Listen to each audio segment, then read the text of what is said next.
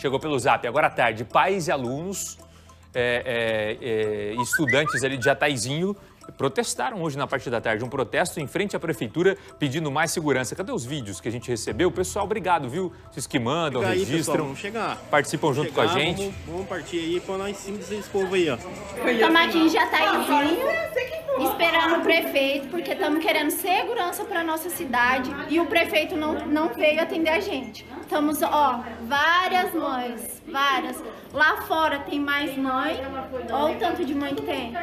E o prefeito não veio. A cidade de Jataizinho está abandonada. Não tem vice, não tem ninguém para atender a gente. 18 e 7, o povo está cobrando. Rafa na informação ao vivo. Rafa, como é que foi por lá o protesto?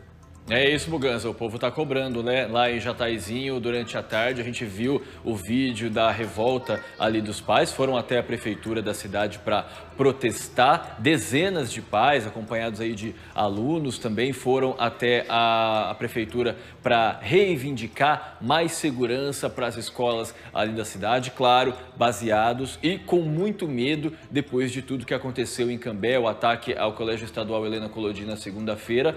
É bem justificado que os pais tenham esse medo que possa acontecer a mesma coisa nas escolas da própria cidade onde moram. Nesse caso aí, né, pais de crianças de escolas municipais e estaduais que foram até a prefeitura e, de acordo com eles, não conseguiram falar com o prefeito Wilson Fernandes, o Wilsinho de Jataizinho. A gente entrou em contato com a prefeitura municipal, a assessoria de comunicação da prefeitura de Jataizinho, e a informação que a gente obteve foi que o prefeito agendou uma reunião com esses pais para amanhã à tarde, amanhã início da tarde por volta das 13 horas, para poder ouvir as demandas deles, o que eles temem e o que eles propõem de mais segurança para as escolas da cidade. A gente, claro, vai acompanhar e trazer todos os detalhes na programação da RIC TV, Buganza. Obrigado, Rafa, pelas informações. A gente sempre fazendo a cobertura é, de Londrina e das cidades da nossa região, atendendo o máximo de pessoas possível. Obrigado, pessoal de Jataizinho, sempre ligados. Cornélio Procópio no nosso Cidade Alerta. Obrigado, Rafa. Já volto com você.